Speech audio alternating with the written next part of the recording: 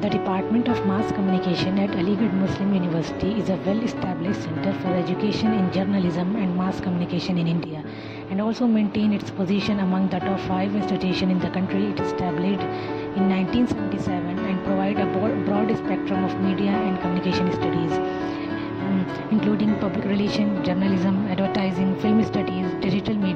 also offers PhD program for those who are interested in media. Seminar room where many group discussion happens. It had a dedicated library with a vast collection of books, research, journals, and a lot of dissertation, providing rich resources for academic exploration and research. Studio is equipped with modern audio video production facilities including cameras, professional lighting setups, sound recording.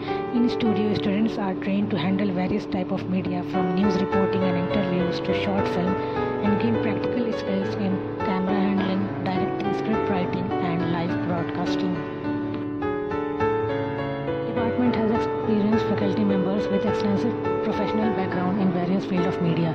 They know they not only teach us theoretical skill but also provide us opportunities to gain practical experience and learn about different aspects of mass media, which greatly contribute to our professional growth. Their approach has been invaluable in preparing us for the challenges that lie ahead in our career.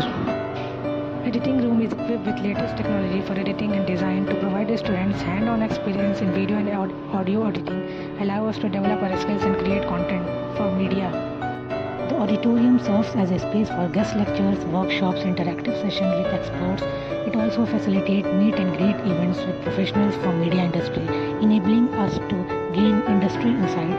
Additionally, it is also used for film screening, which is a crucial part of our practical training department organized an educational visit to the Amar Ujala newspaper office where we witnessed the live exciting process of newspaper printing and also interacted with the editorial and production team who shared insight into their daily challenges and the decision making process behind creating impactful news where we also learned the stage of production and fold from initial layout design to the final printing and intricate technique used to add different colors to the pages the type of paper sheet suitable for color printing and the advanced machinery involved in the process this gave us the deeper understanding of print media industry. Professors are assigned tasks of designing newsletter and these tasks provide us hand-on experience in content creation, layout design, editing skill while also enhancing our writing skill and creativity.